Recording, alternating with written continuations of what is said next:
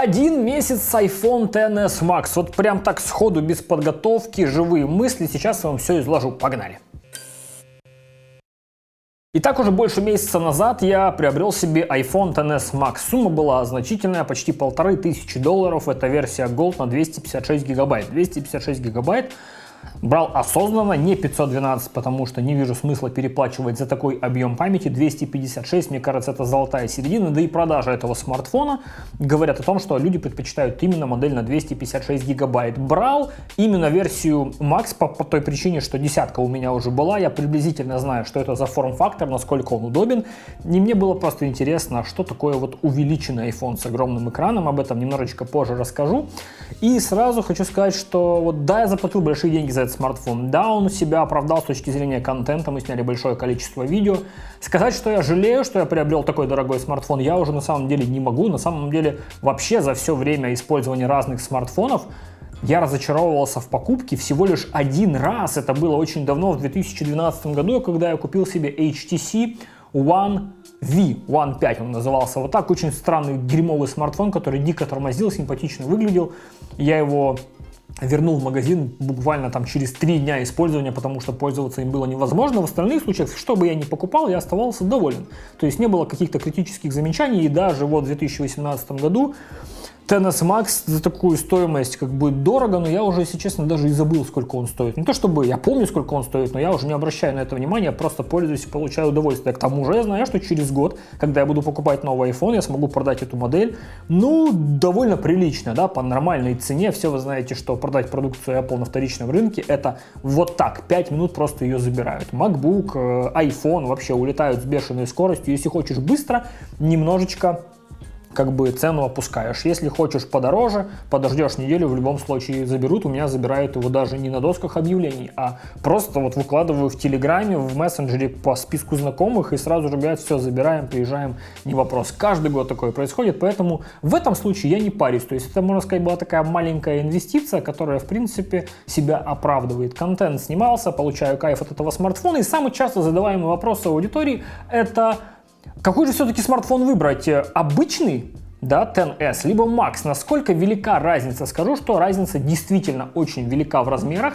И в случае удобства использования, конечно же, версия Max, она ну, не настолько удобная, как обычная десятка, десятка S. Это, мне кажется, вообще вот э, десятка и 10s это вообще идеальный стандарт смартфона с умеренно большим экраном и при этом классными габаритами. А еще, если вы часто пользуетесь камерой, снимаете видео либо фотографии, то уменьшенная версия этого смартфона гораздо удобнее. Но здесь есть некоторые нюансы. Допустим, с большого смартфона, как показала практика, гораздо удобнее набирать сообщения. Если вы пишете огромное количество сообщений в мессенджере, либо, как я, пишете огромное количество текстов в почте, иногда даже я пишу некоторые сценарии на смартфоне, когда нахожусь в дороге, то в этом случае вот такой размер экрана, он действительно оправдан, очень удобно набирать большое количество текстов. Иногда даже бывает банально, я ставлю его на подставку, подключаю к нему клавиатуру от э, Apple, да, маленькую клавиатуру, которая идет отдельно, Bluetooth клавиатура, которая предлагается компьютером, и набираю текст на нем, как такой вот экран. Я даже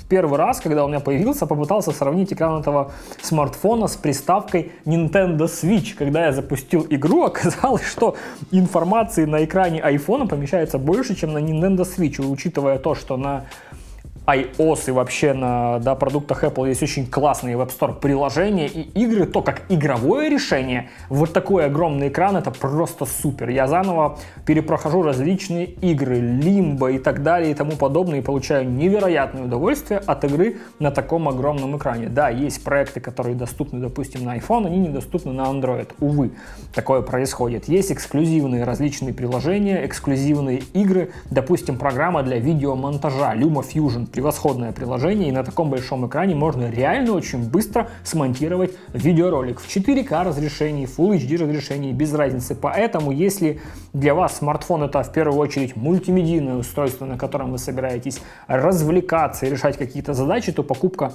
смартфона с большим экраном, она оправдана. Следующий важный нюанс – это износостойкость смартфона. Если вы следите за каналом, то знаете, что мы в первые дни уже умудрились разбить стекло камеры этого смартфона. Вот в таком положении он стоял, когда мы его снимали первые видео на пляже на деревяшке. И он вот так вот упал плашмей, на что-то, видимо, попал, и здесь пошла трещина. Она, к счастью, не повлияла никак на фотомодуль, она никак, эта трещина, не заслоняет сами объективы камеры, поэтому с точки зрения фотовозможностей я до сих пор продолжаю спокойно пользоваться. Мне предложили заменить это стекло в сервисном центре, неофициальном сервисном центре. И в принципе это сделать можно. Единственный нюанс, этот смартфон придется полностью разобрать. То есть представляете, чтобы поменять это стеклышко, нужно полностью разобрать весь смартфон, поменять этот модуль и заново его собрать. И тут у меня возникает вопрос, а что будет с заявленной влагозащитой? С другой стороны, вот сейчас у меня разбито стекло, и я тоже не могу пользоваться смартфоном под водой, потому что боюсь. Боюсь, что вода банально попадет под стекло и как-то заденет модули камеры. Поэтому что так, что так, я в принципе остаюсь без влагозащиты, но менять, не менять, ну, я просто не хочу сейчас на какое-то определенное время оставаться без своего основного смартфона, ведь замена стекла займет, ну, какую-то часть времени. Пока не хочется, может быть, со временем это решится. К слову, цена вопроса замены этого стекла неофициальная, 60 долларов.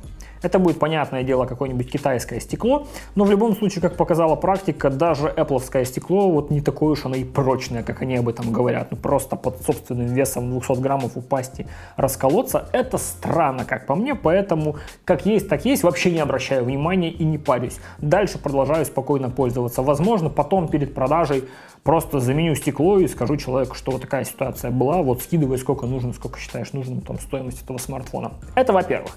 Во-вторых, когда у меня была десятка, она у меня была в белом цвете, я заметил очень странную штуку. Обычная десятка, то есть первый смартфон Apple в новом форм-факторе.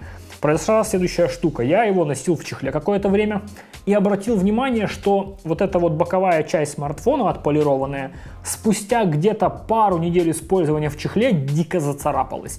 То есть в нее попали какие-то микро вот такие, знаете, песчинки, может быть, песок, какой-то ворс, и просто за счет такого легкого трения чехол очень сильно расцарапал мою первую десятку, десятый iPhone.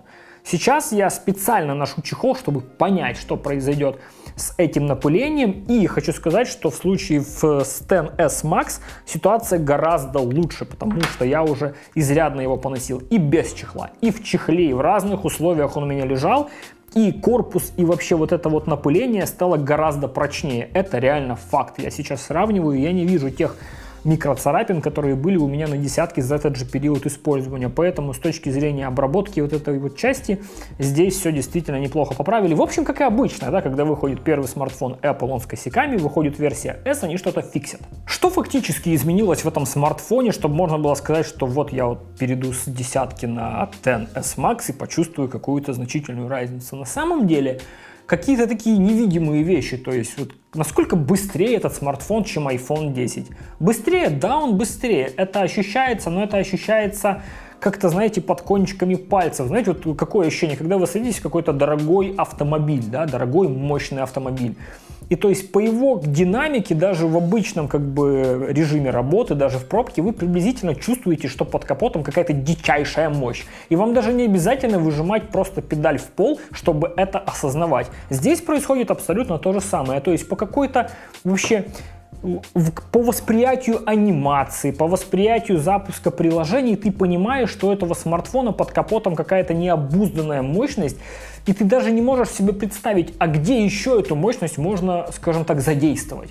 В играх и так все прекрасно работало в предыдущем поколении смартфонов. Даже iPhone 8 прекрасно работает с играми. iPhone 8 Plus замечательные до сих пор смартфоны, которые классно справляются с самыми тяжелыми приложениями. Но здесь вот прям ты чувствуешь, оно рвется, она говорит, дай как жару, ну втопи что-нибудь, запусти, чтобы я это все разворошил и запустил. Я пока не знаю, как это использовать. С другой стороны, всегда приятно осознавать, что у твоего устройства есть огромный запас мощности. Это не только со смартфонами связано.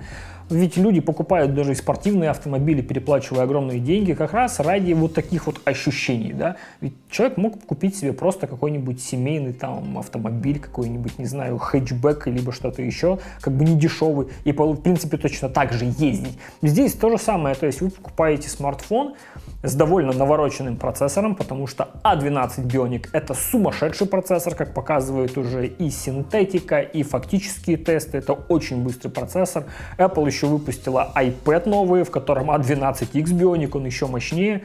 То есть процессор действительно больной на голову с точки зрения скорости работы. И могу сказать откровенно, я вот сейчас пользуюсь еще и Pixel 3 XL, вы это знаете, да, на 845-м Snapdragon. Относительно других Android смартфонов это быстрое устройство, но как только переключаешься между ним и iPhone, то понимаешь, что разница, она действительно очень большая, большая в скорости работы разница, и по-другому и срабатывает анимация, быстрее разворачивается, и какой-то просто не знаете, какой-то вот такой ментальный запас мощности у смартфона ощущается больше именно у айфона. Но при этом Pixel замечательный смартфон. Кстати, я скрыл с него монобровь, теперь им вообще нормально можно пользоваться.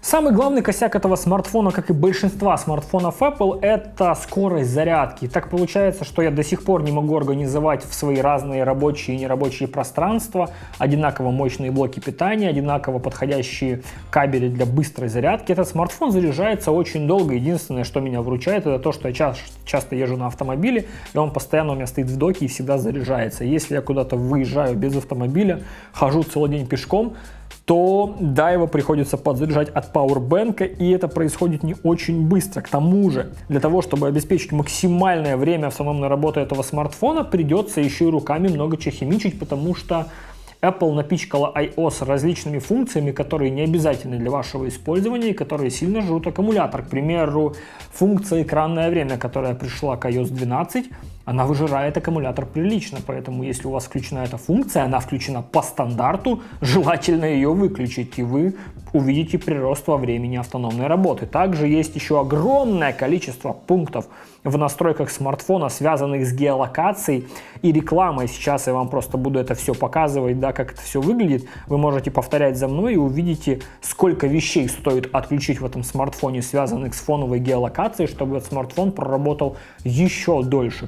Вы все это дело отключите, iPhone XS Max может работать прям четко весь день, с утра до позднего-позднего вечера, а у некоторых может еще хватить даже до следующего утра. В принципе, достойный результат, как и обычно бывает у всех максимально больших смартфонов Apple. Перед тем, как записывать это видео, я хотел очень сильно критиковать iOS 12, но произошла следующая ситуация. Вышла iOS 12.1, в которой поправили большое количество багов, которые присутствовали просто в iOS 12. Да, это до сих пор не идеальная операционная система, она значительно лучше и значительно стабильнее iOS 11, здесь даже и спорить нечего. Огромное количество критических и детских болячек исправили в ней, однако были странные нюансы в работе Wi-Fi, в работе сотовой связи. В Wi-Fi была очень странная ситуация лично у меня, не знаю, может у вас то же самое повторялось, если я, к примеру, прихожу утром завтракать в кафе, подключаюсь к их Wi-Fi точке доступа, потом ухожу,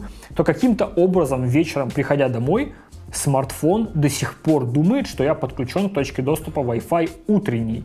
И на 5 секунд зависает меню, потом раздупляется и понимает, что этого Wi-Fi давным-давно нет. И получается так, что чуть ли не весь день смартфон пытался подключиться к точке доступа Wi-Fi, которую он почему-то у себя сохранил в кэше, но ее, естественно, не было. Это тоже выжирало аккумулятор. Вот с приходом iOS 12.1 это исправили.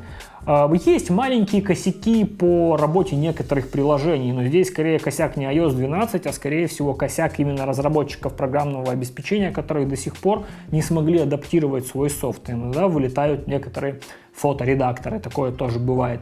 Иногда какая-то программа тоже дает сбой с анимацией, там не критично, и таких программ немного, но все-таки факт на лицо. Да, iOS 12 хорошая операционка, работает быстро, но до сих пор она не идеальна. И знаете что, мне кажется, что уже не будет такого софта, который будет работать идеально. С каждым годом он становится все сложнее и сложнее, все навороченнее и навороченнее. И отыскивать э, просто заблаговременно какие-то баги компании просто не, не под силу, невозможно. Им приходится использовать нас, конечных пользователей в качестве, так сказать, бета-тестеров, даже на финальных версиях прошивок. Вспомните хотя бы одну операционную систему в 2018 году, которая работала бы идеально – такой нет, я такой не встречал. iOS местами глючит, Android 9 на пикселе выдает тоже очень большое количество глюков, об этом я расскажу попозже уже в отдельном видео. MIUI 10 об этом вообще стоит молчать, прекрасно, выглядит быстро, работает, но бывают такие конфликты в работе, что просто ужас. У Samsung тоже случаются проблемы, у Huawei и их некоторых смартфонов флагманской серии там вообще бывает такой зоопарк, что сидишь просто думаешь, а, куда-то шрифт уползает, упирается в экран. То есть нет нормального софта. Windows, macOS тоже дают иногда сбой. Все, мы уже живем в то время, когда надеяться на идеальный софт, на идеальное программное обеспечение невозможно. Можно искать только какие-то альтернативы, которые более-менее подходят вам. Камера iPhone самый вот животрепещущий момент, потому что накалы страстей такие, что это просто ужас. Все спрашивают, насколько хорошо снимает этот смартфон. Правда ли, что он сильно проигрывает по качеству снимка конкурентам и так далее и тому подобное. Я могу сказать очень кратко и быстро. По сравнению с десятым айфоном разница существенная на самом деле, особенно в вечернее время, особенно в портретной съемке, действительно сделали приличный шаг. Если не сравнивать вот напрямую, то и десятка классно снимает, и этот классно снимает. Но когда начинаешь сравнивать, видишь разницу в детализации, в тенях, в HDR, она действительно есть. С точки зрения, в сравнении, допустим, с Android смартфонами, ситуация тоже банально простая.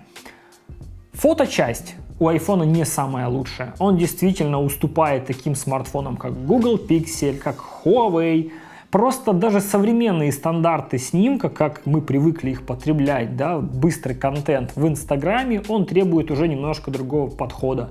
То есть мы постоянно адаптируемся, эволюционируем и воспринимаем контент по-разному. То есть кто-то может говорить, что да, iPhone снимает более естественно, более естественные оттенки, более правильный баланс белого. Это действительно так, но проблема в том, что современному человеку это нахрен не нужно. Ему нужно, чтобы было красиво. А естественный снимок это не всегда красиво, это тоже правда. Но отчасти видеосъемки iPhone впереди планеты все. Еще нет ни одного Android смартфона, который хотя бы близко приблизился бы к качеству видеосъемки новых iPhone. Съемка ведется просто потрясающе. Невероятная детализация обалденное разрешение, резкость, просто сумасшедшая видеосъемка. То есть на сегодняшний день, если вы хотите иметь какой-то крутой смартфон и при этом не покупать камеру для видеосъемки, допустим, вы хотите заняться видеоблогингом, снимать влоги, либо что-то еще. На первых порах вам этого айфона будет хватать вот так за глаза, если вы снимаете днем, даже вечером. Видеосъемка просто потрясающая. К тому же поправили еще и звук микрофонов. Пишет супер. Вы сами это все видели в моих сравнительных обзорах, где я показывал, как снимает видео iPhone. Тут и говорить нечего. Единственный смартфон, который хотя бы близко может приблизиться по качеству видеосъемки, это Galaxy. Galaxy Note 9. Ну и, возможно, Galaxy S10, который скоро выйдет там, да, в феврале, в конце февраля 2019 года. То есть вот так. Фоточасть, она терпимая, абсолютно терпимая. Если у вас прямые руки, правильное видение, вы можете выжать из камеры айфона потрясающий снимок и сделать это, наверное, лучше, чем на большинство других Android смартфонов, не считая пикселя, там еще парочки смартфонов. С точки зрения видеосъемки iPhone очень крут. Вот даже сейчас я пытаюсь вспомнить, что еще рассказать э, вам про этот смартфон. Мне даже вот видеооператор подсказывает, что сколько мы снимали смартфонов в этом году, качество звука динамиков у айфона тоже самое лучшее. Не с точки зрения громкости, там, да, а с точки зрения именно качества, глубины звука, басов, четкости звука. Вот даже берешь Google Pixel 3 XL, который играет громче, чем iPhone, но качество звука у пикселя, само качество, оно хуже. И с айфона реально приятно смотреть видосы в ютубе на полной громкости, потрясающий объемный звук в любом месте, даже в каком-то громком месте запускаешь, все отчетливо слышно, обалденный стереозвук в этом вопросе. Да вообще я замечаю, что когда компания Apple берется за звук, за звуковые возможности в любом своем гаджете, они делают это очень круто. Если взять звук их ноутбуков, к примеру, MacBook, причем любого MacBook, 12-дюймовый MacBook, какой-нибудь старый Air, либо 13 прошка, либо 15 прошка, там просто великолепный звук. Я не видел еще ни одного, допустим, Windows ноутбука, который играл бы настолько качественно. Вот у меня было огромное количество разных игровых ноутбуков. Да, вот казалось бы, игровой ноутбук, там можно поставить серьезную стереосистему, огромный толстый корпус. У нас был MSI за 5000 долларов с двумя видеокартами 1080 высылая там там тоже был заявлен сумасшедший звук. Я просто ставил рядом пятнашку, MacBook, который тоненький, ставил этот MSI, и он даже в подметке не годился по звуку обычной пятнашки. Вот Apple умеет работать со звуком. Не знаю, почему другие производители этого не могут. И HTC неплохо работала со звуком, делая свои стереодинамики. Но на сегодняшний день всерьез воспринимать смартфоны HTC нельзя, потому что, ну как можно покупать смартфон компании, когда ты не знаешь, что с этой компанией будет в дальнейшем. Это тоже, кстати, отдельная тема для разговора. Многие меня спрашивают, а почему именно смартфоны Apple ты так любишь, либо же там смартфоны Google Pixel любишь. Да потому что, когда я покупаю смартфон, я покупаю не технические характеристики и даже невозможности этого устройства. Я покупаю в первую очередь видение компании, да, вот мне нравится как видит компания будущее гаджетов. Мне нравится, то есть покупая, допустим, iPhone, я покупаю еще кусочек истории, ну, потому что это большая компания с богатой историей, с какой-то концепцией, у которой за плечами огромное количество разных интересных вообще событий. Покупая no-name смартфон, который там с огромными крутыми характеристиками, я покупаю банально просто железяку. Я не хочу покупать железяку, я хочу купить устройство, у которого есть, ну, можно так сказать, немножко душа.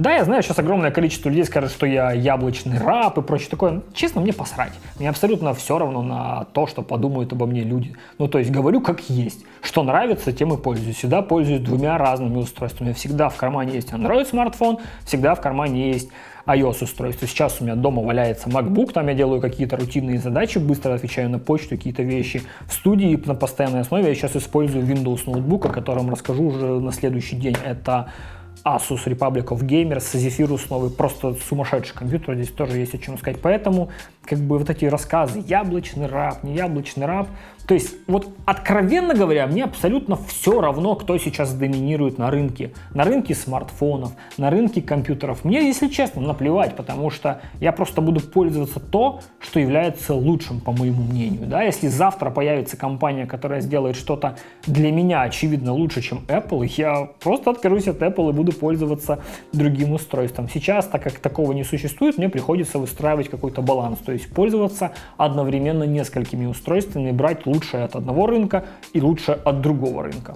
Да и к тому же, если говорить откровенно, то я уже ловлю себя на мысли, которую неделю подряд, что рассказы для аудитории про дорогие устройства, про дорогущие смартфоны, про дорогущие компьютеры и планшеты, это уже, мне кажется, лично гиблое дело, потому что акценты массовой аудитории, массового зрителя очень сильно сместились. Ну, раньше было по приколу людям смотреть на устройства, которые они не могут себе позволить. Ну, скажем так, чтобы пофантазировать, помечтать, получить какое-то удовольствие. Сейчас на рынке существуют такие устройства, которые стоят в два раза дешевле. Люди понимают, что себе они их могут позволить, поэтому информацию про более дорогие устройства, более элитные устройства, они просто воспринимают в штыки. И действительно, даже для себя я уже отметил, что вот Apple выпускает новые планшеты, которые стоят дорого, новые компьютеры, которые стоят дорого. Они даже мне уже не интересны. Ну, то есть, конечно, мне было бы интересно это все протестировать, но с точки зрения фактической покупки нет ну, я, я не буду, наверное, покупать себе дорогущий планшет. Если получится взять его на какое-то время для теста, я это сделаю. Я не буду покупать себе MacBook Air там в нормальной конфигурации, потому что это дорого и, ну, для меня это незачем. Поэтому рассказы про что-то дорогое со временем начинают просто переставать быть актуальными для, опять-таки говорю, для массовой аудитории. Я понимаю людей, которые, которых бомбит от дорогих устройств. Они смотрят на эти ценники, и у них оно в голове не умещается, как можно отдать за смартфон полторы тысячи долларов, как можно отдать за компьютер три тысячи долларов. Не буду называть более страшные суммы, чтобы совсем у людей там планку не переклинило. И поэтому стараюсь выдерживать какой-то баланс в своих повествованиях. Пора заканчивать это видео, потому что оно уже превращается в какой-то видео-подкаст, и навряд ли сейчас вообще кто-то досмотрит его до конца, такой хронометраж длинный, только те, кто максимально как бы релевантен моим мыслям, да, люди, которые будут это слушать и понимать, что они думают точно так же, как я, наверное, они дослушают до конца. В последнем пункте я хочу отметить работу Face ID, вообще эту технологию. Э, в прошлом году Apple сделала смартфон с монобровью и функцией Face ID. Вот до конца я до сих пор понимаю, почему это было сделано, почему монобровь, почему Apple сделала монобровь, потому что для той работы Face ID, как она реализована сейчас, монобровь действительно неизбежна. Разместить такое количество датчиков, да, оно того стоило. Зачем это делали Android-производители, я до сих пор не могу понять, потому что в Android-смартфонах разблокировка по лицу — это просто банальность. Смартфон просто разблокируется по лицу, и все. Face ID, вот очень много людей в комментариях пишут типа ой, Face ID это типа такая ерунда неудобная. Ты пользовался ей, что ты пишешь. Ну, то есть, э, как можно вообще такое сказать? Face ID на сегодняшний день это идеальный инструмент для работы со смартфоном. Потому что Face ID это и разблокировка смартфона, и автозаполнение паролей, и платежи в интернете. Ну, то есть, это то, чего не смогли сделать в Android. И самое смешное, я понимаю, почему это произошло. Почему Android-производители не смогли сделать нормальные функции разблокировки лица и привязывать его к каким-то программным и вообще системным э, возможностям. Потому что здесь все зависит сугубо от компании Google. Для того, чтобы понять, что получилось у других производителей или не получилось у других производителей, нужно смотреть на возможности смартфонов Google Pixel.